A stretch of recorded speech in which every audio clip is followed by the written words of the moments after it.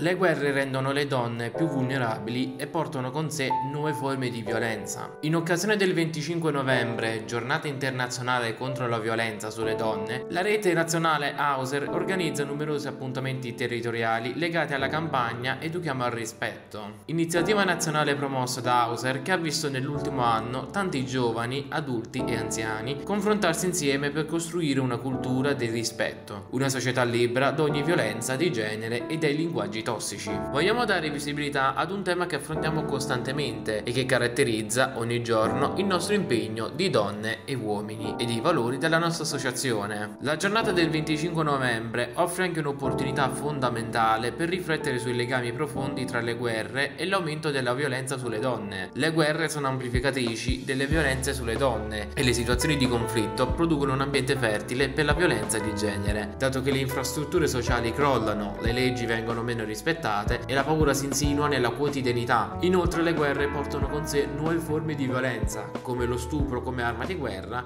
la tratta di giovani donne e la schiavitù sessuale. Il 25 novembre ci ricorda, ogni anno con maggiore consapevolezza, che la lotta alla violenza sulle donne è un impegno continuo e che le guerre rappresentano una delle maggiori sfide. È necessario un impegno globale e coordinato per porre fine a questa ed altre piaghe e costruire un futuro in cui tutte le donne possono vivere libere dalla paura e dalla violenza.